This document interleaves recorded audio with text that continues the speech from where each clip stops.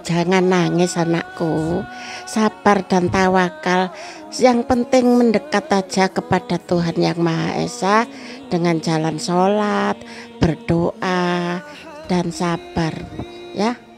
Nanti belakang-belakangnya nanti kamu mesti menang.